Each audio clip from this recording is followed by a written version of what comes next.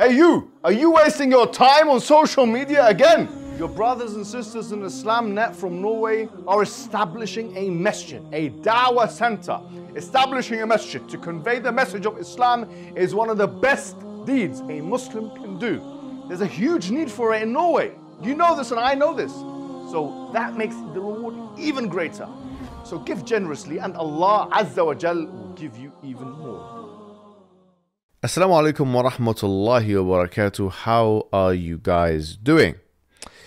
Many of you will be familiar with uh, this figure, this individual who is referred to now as the Quran burner, because he's a one trick pony with the only ability that he has demonstrated is the ability to turn on the lighter and to um, put that flame onto paper.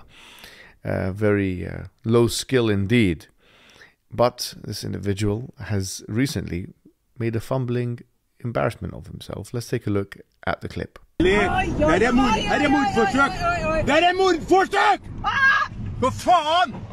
As you can see, this individual now uh, literally tossing and turning in his vehicle. It's like an army vehicle, a military style vehicle. Um, he's in no war whatsoever. He's in fact in some confrontation with a Muslim woman. And somehow his car uh, was fumbling and turning around the motorway, just like he himself has been fumbling and turning up in different places in the Muslim community, trying to uh, attack them.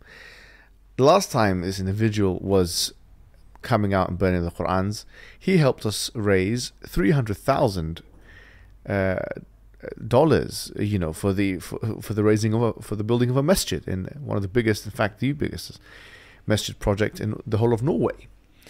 And here he is in the month of Dhul Hijjah, making a fool of himself at our advantage once again.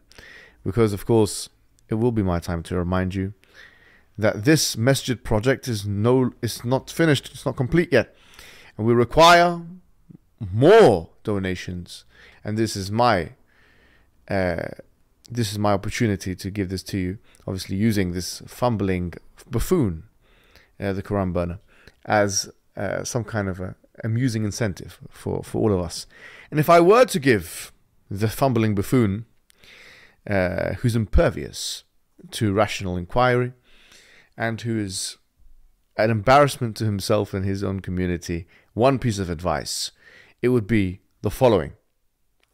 I would say, look, forget about this facade of being a military man or an army general or something that maybe you have some delusion of grandeur. You think you're some kind of crusader or something like that. Forget about that.